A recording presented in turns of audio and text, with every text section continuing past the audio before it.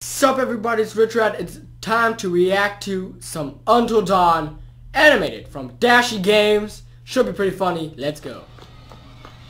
The fuck you going, bitch? I just saved your ass. Hold up, bitch. Oh, oh my god. Oh shit. I love okay, Dashi. This is it for your boy. I can't die here yet. I got shit coming from Amazon still. Oh my god. Oh shit. Oh, that motherfucker about to look at me in my shit. Hold on. Just stay steady on your sh Oh my god, bitch. This shit is some crazy shit. Oh.